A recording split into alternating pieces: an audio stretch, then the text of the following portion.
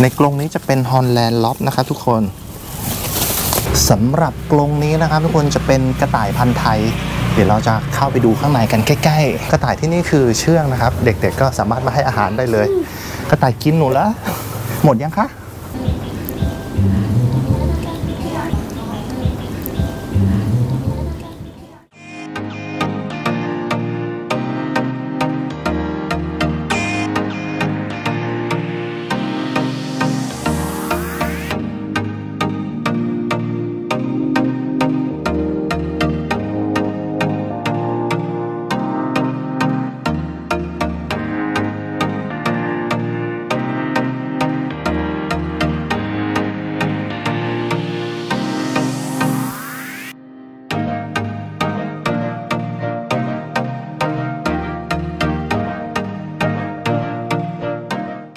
สวัสดีนะครับทุกคนผมตัว LT Journey นะครับ เดี๋ยววันนี้พาทุกคนมารู้จักกับคาเฟ่น่ารักน่ารักในจังหวัดนครปฐมอีกหนึ่งคาเฟ่นะครับ คาเฟ่นี้มีจุดเด่นคือเขาจะมีเหมือนน้องกระต่ายนะครับ ให้มาให้อาหารได้แล้วเหมือนจะมีวาดรูปด้วยสำหรับใครที่รักสัตว์ชอบกระต่ายอย่างเงี้ยเดี๋ยวเรามาดูกันว่าคาเฟ่นี้จะบรรยากาศยังไง แล้วก็กระต่ายนี่จะเป็นพันธุ์อะไรยังไงบ้างเนาะฮะไปเดี๋ยวไปดูด้านในกันาเฟ่นี้นะครับทุกคนจริง ๆ ผมผ่านหลายรอบมาก แต่ผมไม่คิดว่าด้านในอะจะสวยเหมือนอย่างเงี้ครับทุกคนเนี่ยทุกคนลองดูจากด้านนอกเห็นไหมมันจะเป็นฟิลอย่างเงี้ยผมก็นึกว่าด้านในไม่มีอะไรหรอก ที่ไหนได้โหมองข้ามมานานครับ วันนี้ผมเลยพาเข้ามาดูเลย นี่เป็นครั้งแรกเหมือนกันนะครับ ที่ผมเข้ามาดูในคาเฟ่นี้ พอเข้ามาด้านในนี่บอกเลยว่า ว้าวครับ ทุกคนดูบรรยากาศสิน่านั่งไหมโอ้โหต้นไม้ร่มรื่นแล้วก็ ลมพัดเย็นสบายมากๆเลยครับ เหมาะสำหรับเป็นคาเฟ่ที่นั่งชิลแล้วก็หรือบ้านใครมีเด็กๆ มีลูกมีหลานนะครับ พามาคาเฟ่นี้ได้เลย พื้นที่ค่อนข้างกว้างนะครับ นั่งสะดวกสบายครับ เป็นไงครับทุกคนสำหรับบรรยากาศของร้านลับบิดอาร์ตการ์เด้นที่พาทุกคนมาดูมุมตรงแถวๆนี้เนาะสวยนะครับ จริงๆ นี่เป็นคาเฟ่ที่ เปิดอยู่ใกล้บ้านผมมากเลยนะ แต่ผมก็ไม่รู้แต่พอดีมีน้องอะในเพจเขาอินบ็อกมาบอกว่าพี่ตัวลองไปมายังคาเฟ่นี้สวยนะ อยู่ใกล้ๆบ้านด้วย วันนี้ก็เลยลองมาพาทุกคนมาดูเลยครับน่ารักดีครับ ใครมีเด็กๆในบ้านนะน่าจะถูกใจครับ มาให้อาหารกระต่ายมานั่ง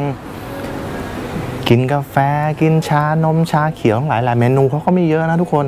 บรรยากาศสวยแล้วก็ยังมีเมนูเยอะด้วย เดี๋ยวก็เดี๋ยวผมจะพาไปดูว่ามีอะไรกินกันบ้างนะ บรรยากาศเป็นอย่างที่ทุกคนเห็นเลยครับ วันนี้โหร่มเย็นสบายมากเลยที่นี่ถือว่าต้นไม้เยอะครับ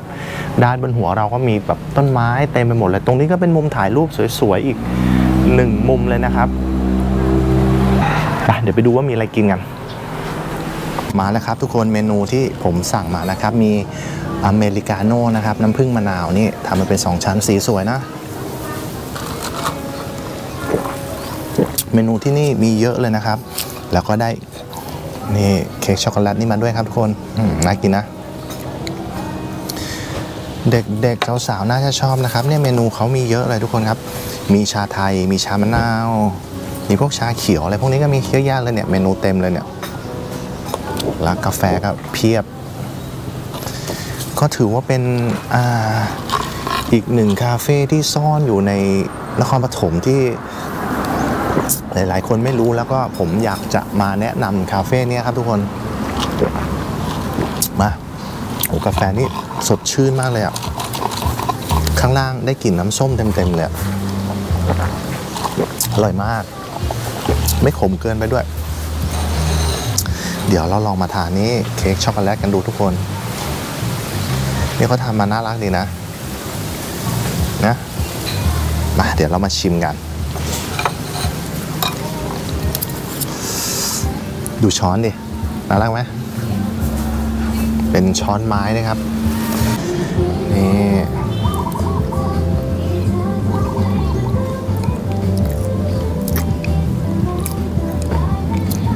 เค้กที่นี่คือไม่หวานโดดนะทุกคน เป็นรสกลางๆครับ คือจะไม่หวานปี๊ดเหมาะสำหรับคนไม่ชอบหวานแบบผมเนี่ย เนื้อเค้กนุ่มนะครับ ค่อนข้างละเอียดเลย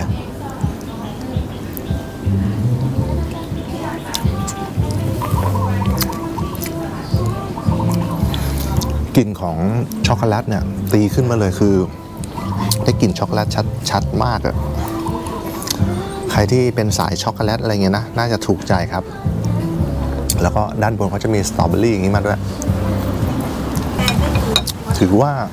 ทั้งเค้กแล้วก็เครื่องดื่มที่สั่งมานี่ โอเคเลยครับทุกคน ก็เดี๋ยวขอตัวกินให้เสร็จก่อนแล้วเดี๋ยวผมจะพาทุกคนไปให้อาหารน้องกระต่ายกันเนาะ เดี๋ยวเจอกันครับ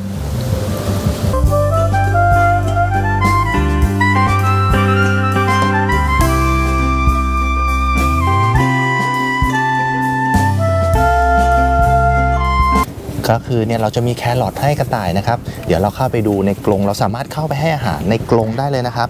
กรงแรกที่เราจะเข้าไปจะเป็นกระต่ายสายพันธุ์ฮอลแลนด์ชึบเข้ามาก็ระวังน้องเขาด้วยนะครับทุกคนชึบ เขาเข้ามาหาเราแล้ว เหมือนเขารู้ว่าเราจะมาให้อาหารน่ะดูนะ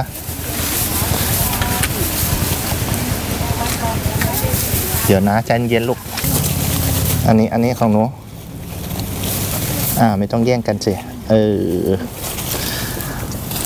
ในกรงนี้จะเป็น Holland Lop นะครับทุกคน แล้วตัวชูโรงเขาจะเป็น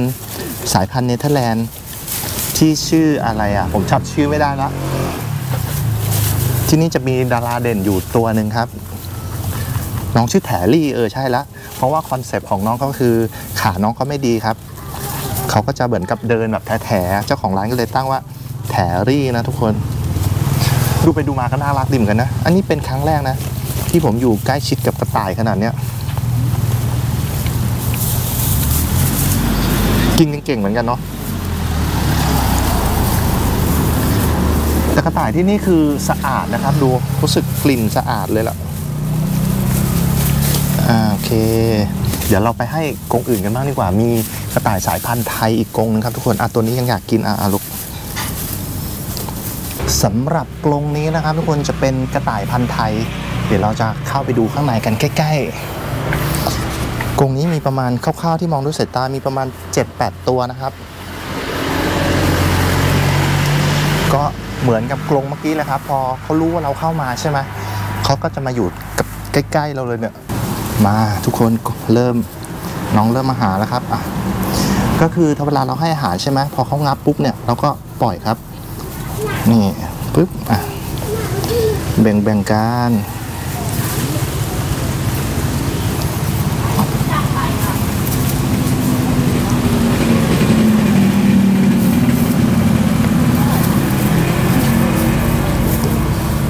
ก็น่ารักดีนะพันธไทยนี่ก็น่ารักนะ ขนาดพันธไทยเฉยๆเนี่ยนะ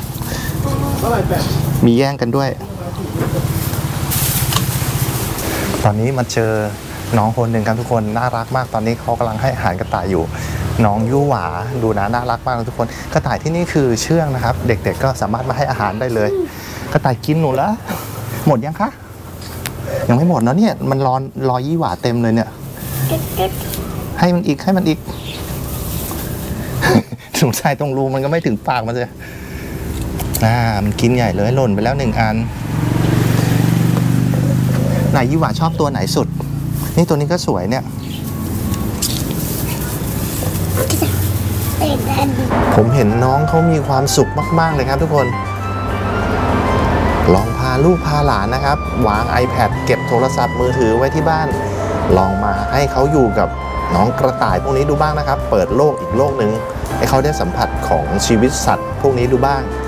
รับรองครับเขาจะมีความสุขบ๊ายบายบายบายน่ารักเรามาอยู่กับเจ้าที่เป็นนางเอกที่เป็นตัวเอกของที่นี่เลยนะครับ ที่นี่ตัวเนี้ยเขาจะมีแฟนคลับเยอะนะมาที่เนี่ยคือมาหาตัวนี้เลย ชื่อแถรี่เลยทุกคน ดูนะนี่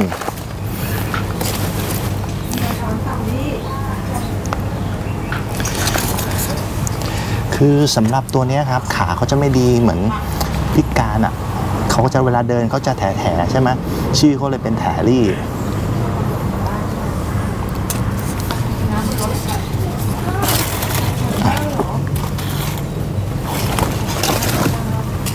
ขอเชิญมาที่ร้านนะคะ การเดินทางก็อยู่ร้านอยู่ที่ถนนบ้านแผ่วก็เข้าซอยเดียวกับปฐมอโศกค่ะ เข้ามาประมาณ 700 เมตร ร้านอยู่ด้านขวามือค่ะ เชิญนะคะ เปิดปิดวันไหนบ้างครับ อ่าร้านปิดทุกวันจันทร์ค่ะ แต่ว่าอาจจะมีบางวันร้านต้องไปธุระ ก็อาจจะปิดก็ติดตามได้ทางหน้าเพจค่ะเปิดกี่โมงถึงกี่โมงครับ อ่าร้านเปิด 10 โมง ปิด 5 โมงเย็นค่ะ โอเค ไปปะเป็นไงครับทุกคนสำหรับที่ลับบิดอาร์ตการ์เด้นแห่งนี้ที่ผมพาทุกคนมาดูบรรยากาศ ก็หวังว่าจะถูกใจนะครับ ก็ถือว่าเป็นอีกหนึ่งคาเฟ่นะครับที่ซ่อนอยู่จริงๆนะ คือทางเข้าอะคิดว่าจะเป็นร้านเล็กๆ ใช่ไหมแต่พอเข้ามาจริงๆอะโอ้โหข้างในบรรยากาศคือกว้างขวางร่มรื่นครับนั่งสบายมากมีต้นมงต้นไม้เต็มเลย แล้วใครที่บ้านใครที่มีแบบเด็กๆ ตัวเล็กๆเนี้ยผมเชื่อเหลือเกินว่า มาเจอกระต่ายมาให้อาหารกระต่าย น้องๆจะถูกใจแน่นอนครับ แล้วก็ยังมีแบบระบายสีด้วยนะ แล้ววันเสาร์เนี่ยเขาก็จะมีเมนูอาหารสักอย่างหนึ่งประมาณข้าวไข่ข้นอะไรครับไม่ได้มีทุกวันนะน่าจะมีเฉพาะวันเสาร์อะไรเงี้ยยังไงก็ติดตามทางเพจเขาได้ว่าเขาหยุดวันไหนวันไหนเปิดหรือไม่เปิดยังไงก็เช็คเข้ามาก่อนได้เลยครับ จากถนนใหญ่นี่ก็เข้ามาไม่ได้ไกลนะครับทุกคนนิดเดียวประมาณ 5 นาที จากถนนเส้นพระปฐมบ้านแพ้วหน่อยเดียวครับ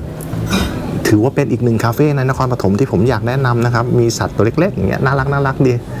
ก็ถือว่าเป็นครั้งแรกเหมือนกันที่ผมมาใกล้ชิดกับกระต่ายขนาดนี้เนาะคลิปนี้ก็น่าจะจบเพียงเท่านี้ครับทุกคนยังไงฝากทุกคนกดไลค์กด Subscribe แล้วก็กดกระดิ่งให้ช่อง LT Journey ไว้ด้วยนะครับ แล้วเดี๋ยวคลิปหน้าเนี่ยจะพาทุกคนไปเที่ยวคาเฟ่สวยๆ ไปเที่ยวที่อื่นๆอีกสำหรับคลิปนี้ ไปแล้วครับทุกคน